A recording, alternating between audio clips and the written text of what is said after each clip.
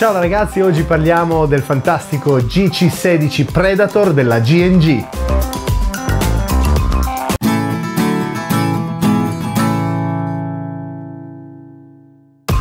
Tutti conoscete la GNG Armament, una delle più grandi fabbriche al mondo. Mi è stato fatto notare che avevo fatto poche recensioni sulla GNG. Benissimo, partiamo subito col primo. Stiamo parlando del fantastico design moderno che la GNG sta introducendo nei suoi fucili e in questo caso abbiamo un modello che si ispira alle linee dei nuovi RIS con eh, diciamo questo wire cutter che è il tagliafili, no? Abbiamo visto già una recensione sul Crytek che ha introdotto questo tipo di RIS sulla linea della Army Sport, ma eh, parliamo del GNG, concentriamoci sul GNG. Questo modello è un modello particolare, eh, non solo per l'estetica, ma anche per quelle che sono le dotazioni interne e tutta una serie di accessori che ormai vengono distribuiti sempre di più un po' ovunque. Parliamo subito della scatola. La scatola è una bella scatola, ben curata, con eh, cartone fuori, bei loghi, bel disegno con tutti, eh, tutte le caratteristiche scritte e poi internamente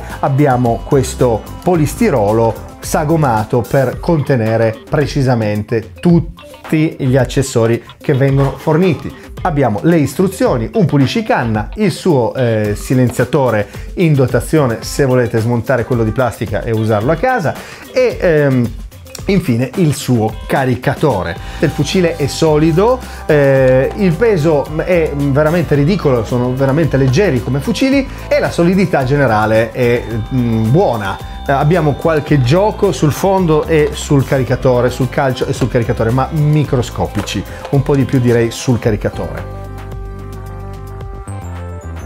La colorazione del fucile è un verde Green Hunter, così almeno l'hanno chiamato quelli della GNG, è ben realizzata, leggermente satinata. I loghi, i loghi eh, sono della GNG, non ha loghi di marche o di armi reali, ma da mai ha sempre messo i suoi GNG Armament sia sul lato destro che sul lato sinistro, però mh, mm, quelli sul lato sinistro sono soltanto eh, dei carving, degli engrave, cioè sono scavati all'interno del corpo, ma non hanno colore mentre sul lato destro sono in bianco e sono al laser. In questo fucile la plastica è eh, rappresentata dal calcio, dall'impugnatura e dal caricatore. Tutto il resto è una serie di leghe di metallo. E passiamo al rail. Il rail è come abbiamo già detto all'inizio molto molto accattivante eh, con questo sistema di K-Mod eh, che ormai va per la maggiore sia sui due fianchi che sulla parte inferiore in modo da poterci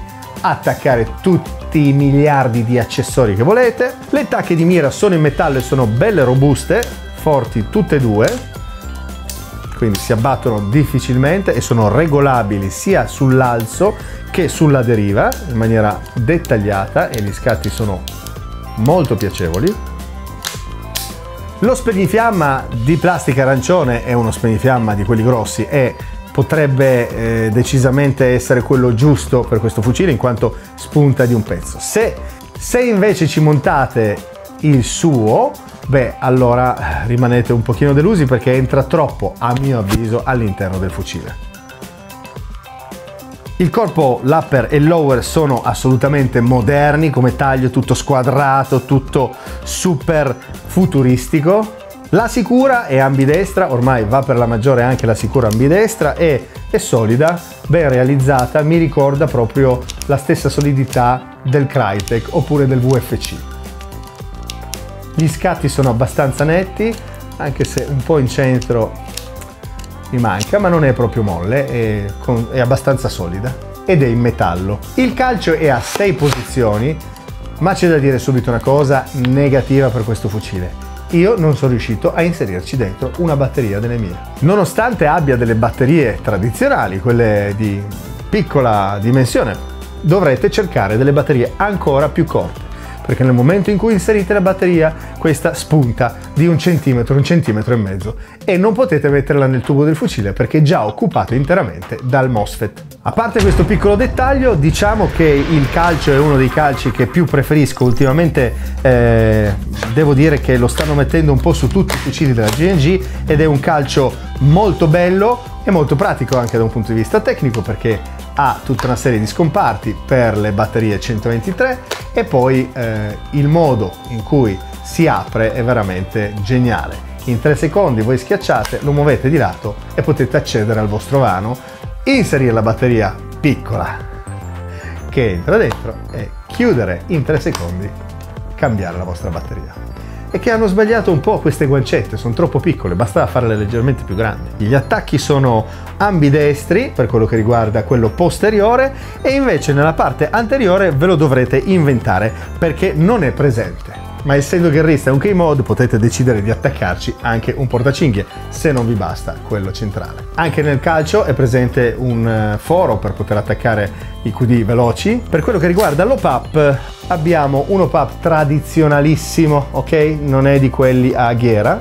Bella invece è la leva d'armamento a butterfly Altre caratteristiche particolari sono l'impugnatura molto molto moderna e anche il, eh, la guardia del grilletto che è anche lì sagomata e customizzata. Ho fatto una recensione ultimamente dell'XTC della Modify, potete andare a visionarla se vi interessa e sullo stile di questi fucili moderni e implementa qualche eh, elemento tecnico in più, ma siamo anche qui di fronte a un fucile che ha delle caratteristiche interessanti per quello che riguarda l'elettronica, infatti la GNG ha introdotto in tutti i suoi fucili nuovi, quasi tutti, eh, l'ETU, eh, che è la centralina elettronica insieme al MOSFET, ovvero il grilletto eh, elettronico, che devo dire ha un'ottima risposta. Mentre il gearbox è un gearbox di generazione 2 tradizionale senza la molla a sgancio rapido. Il caricatore è un caricatore di plastica a rilascio decisamente libero, perché già ve l'ho spiegato che balla un po'. iCap non è un caricatore monofilare, per cui tradizionale. Si inserisce abbastanza bene ed è molto leggero. Andiamo a sentire come gira. Partiamo dal singolo.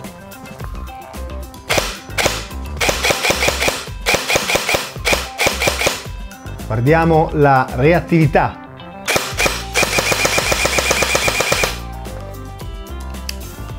raffica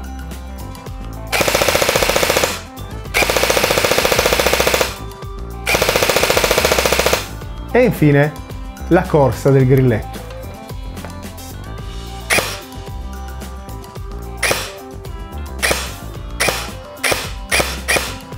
Come vi ho già spiegato, essendo che c'è la ETU, che è un grilletto elettronico, la corsa è praticamente inesistente, voi avete una delicatezza infinita, per cui avete una sensazione veramente, veramente dettagliata del colpo. Questo c'è a chi piace, c'è chi no. Ad ogni modo, questi fucili hanno questo implementato. Un'altra cosa da dire che mi stavo dimenticando è che c'è il rilascio del caricatore sia dal lato destro che dal lato sinistro per chi ama rilasciarlo col pollice. Ed è fatto bene perché è ben nascosto in modo che quando lo portate addosso non vi sgancia il caricatore. Andiamo a vedere la prova di tiro, come si comporta.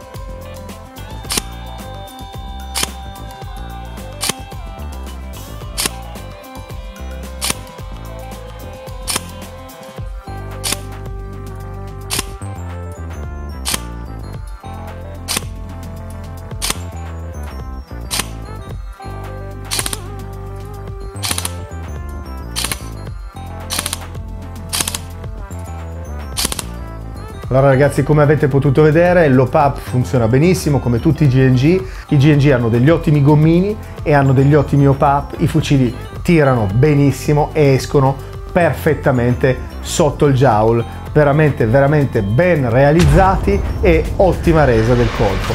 Anche se il ratolo non è pazzesco non è dei più bassi.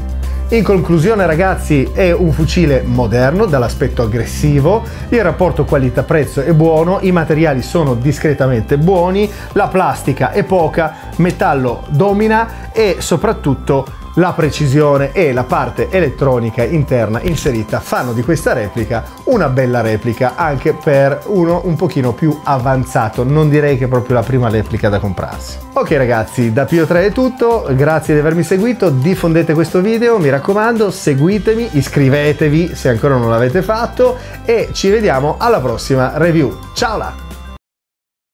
No questa però è da far vedere cioè io alla fine ho lavorato così questo è stato il modo in cui ho dovuto ho dovuto sparare perché non entra, non ne vuole sapere, non entrano. Cioè, ma che cacchio hanno fatto quelli della Gingi? Ma, ma come, cioè, non ti sono mai passate delle batterie così per le mani? Cioè, ma hanno delle batterie più piccole, leggermente. questa si gonfia un attimo non entra niente. Beh. E non è una batteria assurda, è una cacchio di batteria tradizionale 1200 piccolina, non è... Ah, ah, guarda, guarda, guarda, guarda la mano, guarda. non è grossa, Gingi, Gingi, che cacchio mi combini? Gingi, che cacchio mi combini?